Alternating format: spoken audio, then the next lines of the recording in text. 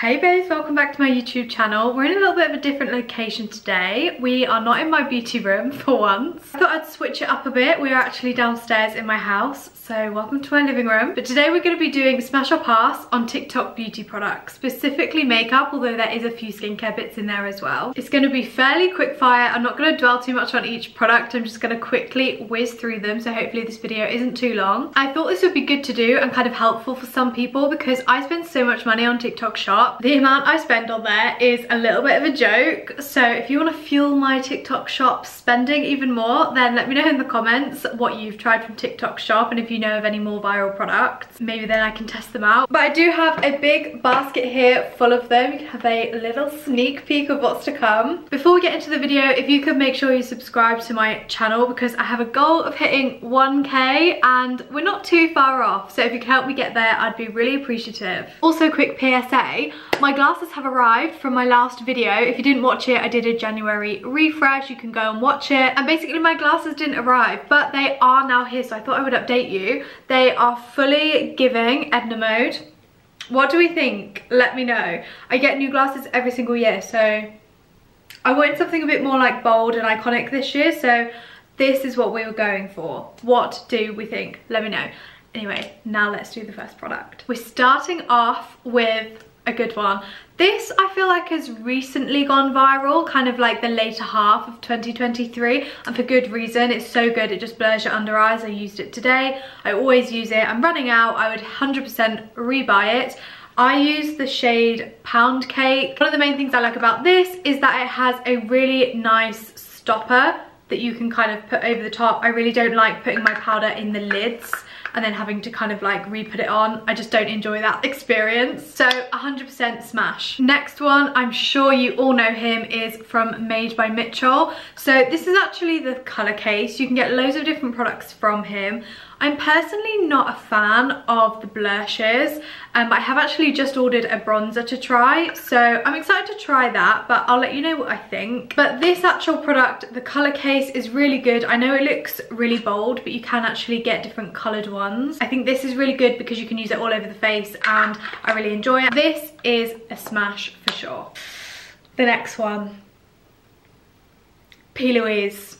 Now, I love P. Louise products and I have been really liking a lot of their makeup stuff, especially because I had the P. Louise advent calendar. If you didn't follow me on TikTok, I unboxed it every single day. And I discovered some amazing products from that advent calendar, but the skincare, oh, it's just a no from me. For example, this moisturizer is nice, but it has gold glitter in and I just don't want that in a moisturizer. I don't know if that's personal preference, but it's just not for me. Feels a bit silicone And the eye cream, again, really nice kind of innovative packaging has like a vibrating tip if you will. So the top of it vibrates and you can put it on your eye and it's meant to be like depuffing, but the actual product, it just peels every single time, no matter how much I use, just peels off, which makes a bad base for your under eye. So P. Louise skincare so far, it's a pass. However, sticking with the P. Louise theme, the Bad Bitch juice boxes are unreal. I literally love them the packaging, what you get in the product, the price point. I literally love this. If you've never heard of them, which if you're on TikTok, why? Basically, you get like a lip oil and then you get a little lip balm which you can pop on your keys. So I actually have mine on my keys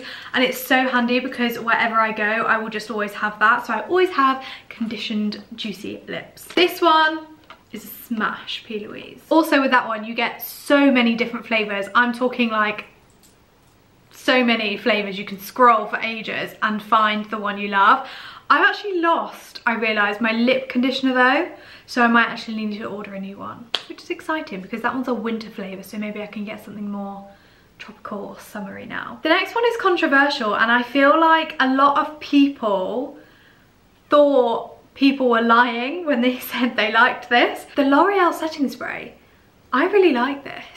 I genuinely think when I apply this, my makeup sticks like nothing else. People were saying like influencers and you know people like that were lying about it because it's like L'Oreal. Um, they were like, it just smells like hairspray and it's not that good. Personally, I was absolutely chuffed when I found out it smelled like hairspray because that stops me applying hairspray on my face. I mean, I stopped doing that when I was about 16, but the point is, it is locking in your makeup like hairspray, but it's appropriate for your face. So I, I personally took that as like a good thing and I was like, oh my God, yes, it's gonna be like hairspray but I'm not putting hairspray on my face. So people didn't like that, but I personally thought that was a good thing. And I also really see a difference in the longevity of my makeup, especially around my nose, like my T-zone area. With regard to the no transfer, it's not no transfer. I don't think anything will ever be no transfer. So I feel like they should have put something like minimal transfer or like something like that. I think maybe people were expecting a lot and it does promise a lot, but I still like it. Does that make sense? So this one is a smash for me, but for a lot of people, I know it's a pass. If you've tried it, what do you think? Okay, number six, we are halfway. This brand, it just makes my heart warm.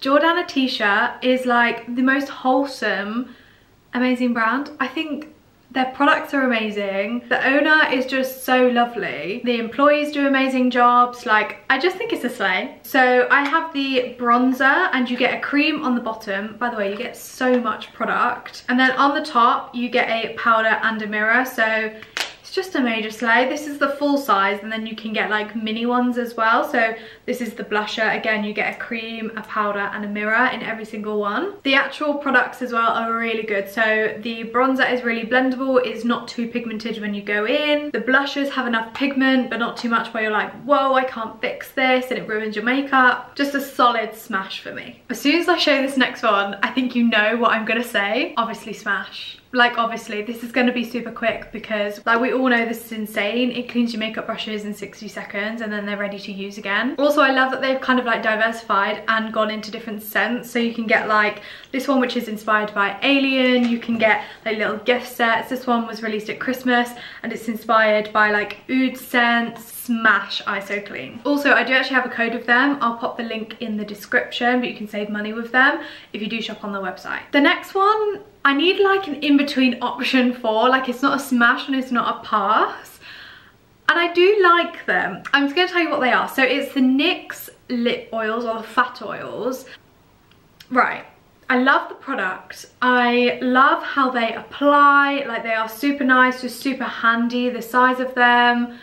They come in a range of different shades. So they're the things I like. However, oh God, that made me jump. There's someone at the door. I wonder what that is. Must be the postman. Anyway, the reason I am not so keen on these is first and foremost, I don't like the applicator. The doe foot applicator is too thick and it pulls off too much of the product the little thing inside where it like scrapes it off every product has it that has a doe foot applicator i need it to scrape off less because I want to apply a bit more. And it just feels like lumbersome every time I take it out. It's like, oh God. And then because it's like a gloss, the product kind of strings out and I'm like always scared it's gonna go over me. Do you know what I mean? I know that's really fussy, but it's just the application and like, oh, that of the product I don't enjoy. I just wish this hole was like a bit bigger.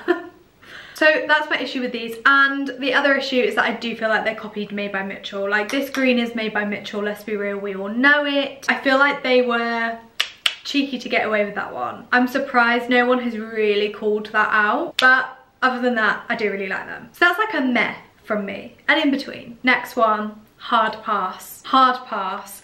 And I really wanted to like this. It is the Beauty Crop SPF. Um, it's like a primer as well, so you can put it under your makeup. Really like the packaging of it, like the little nozzle thing.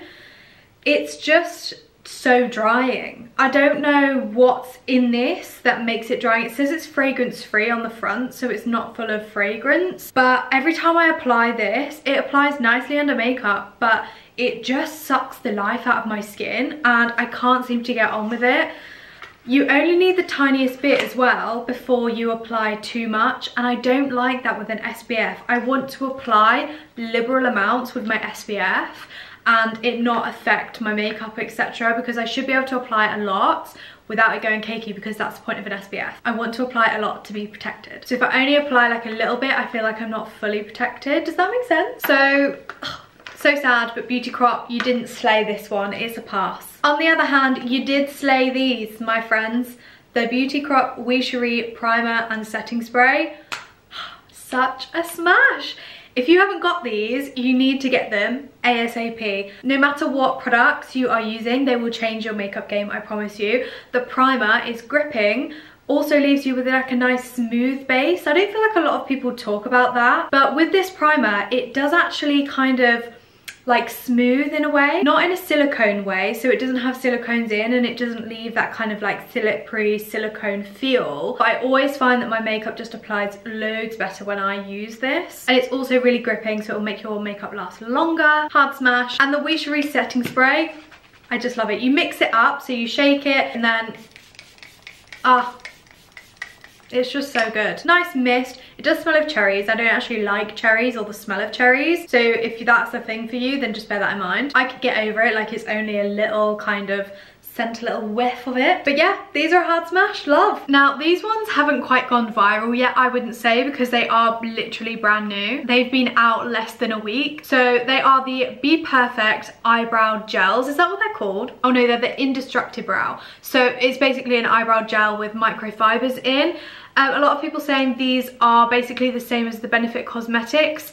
I would disagree. I think this is better. I have tried the Benefit Cosmetics brow thing. I didn't find that one held them in place and it just kind of tinted my brows, which was nice, but it didn't deliver what it promised. These went above and beyond. I actually tested them on my TikTok and I did a really sweaty HIIT workout at the gym because it says they're sweat proof and it fully delivered. I actually have it on my brows now and they're just like glue like they have stuck them down without being shiny. Obviously the microfibers make them look thicker but the staying power for this was what sold me and I really really like them would highly recommend. And I think they're so affordable. They're like eight or nine pound which is what I think a brow product should be. The benefit one isn't the benefit one like over 20 pounds. Like who's spending that? Come on. This is just so much more affordable and better. Hard smash. Be perfect. Okay I've got three more to go. I've actually got a couple more than I originally thought. But next one is the Rare Beauty blush. Not to spend long on this one because we all know the crack. It's amazing. It has the pigment, the application, the actual packaging. It's really good for people with disabilities and who struggle to pick things up. I really like the shades, blends out amazingly. You just look put together and it's such a slay. And it's not exclusive to TikTok, but I feel like it's blown up because of TikTok. So Rare Beauty, big smash. Um, so this one, little bit of an awkward one, I suppose, because it's just the whole brand, basically. HNB, smashing it. Ha, excuse the pun. But, like, the glow tints are the glow tints. If you haven't tried the glow tints, please do yourself a favour and get it wear it in 2024 your friends and family are not going to recognize you they're going to be like oh you look glowing and you're going to be like it's the glow tint it is so good it's so affordable as well. But even if this was like double the price, I would still buy it. I have like a paler shade and then I have a more tan shade. The concealers are amazing. They are hydrating, they are blendable. Again, really, really affordable. Their shade range is also good. Don't get me wrong, could be better, but considering the price range, it is amazing. If you look at other brands with the same price range and then look at their shade range, ouch and they also have their luminous foundation honestly these are like all i use like the glow tint and the foundation is pretty much all i use I don't really know what to say about this because there's nothing bad to say. I would just say HNB skin products, smash. Buy anything and you will like it, I guarantee. and for the final product, not necessarily a TikTok exclusive product, However, this Charlotte Tilbury Flawless Filter, I feel like it's gone big, partially because of TikTok. This is actually really new to me because I have only just tried it. Oh God, shocking. I slept on this so hard. This is kind of like a sheer version of the HNB Glow Tint. So the Glow Tint you can wear more as like a foundation. This I would say is a more like a tinted moisturizer in a way, like the coverage wise. But it is really glowy, super gorgeous. It makes your foundation just look really really nice but coverage wise i would say it goes the charlotte tilbury then the hnb glow tint and then full coverage foundations like again the HNB foundation. Kind of Estee Lauder, etc. getting thicker like that. So this is like very, very minimal coverage. I would 100% say this is worth the money. It just makes you look amazing. If you get a darker shade, you can also use it to kind of bronze up your face, which is what I do.